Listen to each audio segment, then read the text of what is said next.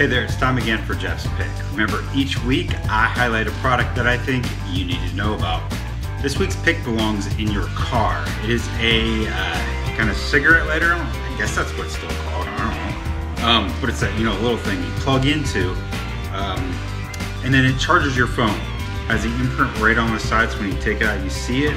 What's really cool about this product is it has two USB ports right there, so you can charge two devices at once.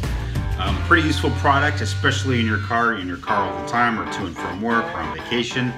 Um, this product will remind your customers about you and your brand. This week's pick is the dual car charger. Take care, guys.